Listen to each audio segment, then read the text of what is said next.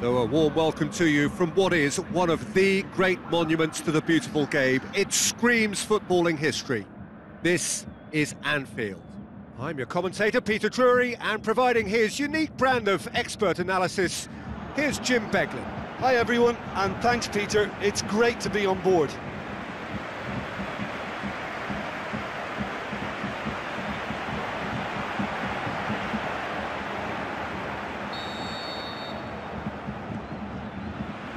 So it's away we go then. Jim, who do you reckon is pivotal? Uh, it has to be the one and only Luis Suarez. Uh, his unique style of, of turning back into defenders instead of away from them is tremendously effective and when you throw in his fiery character and his superb finishing, he's a, he's a tale of the unexpected.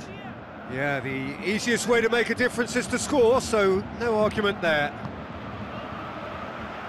Good run, ultimately thwarted by an astute piece of defending. Crowd appreciates good football all round there. And that's one way to annoy his teammates.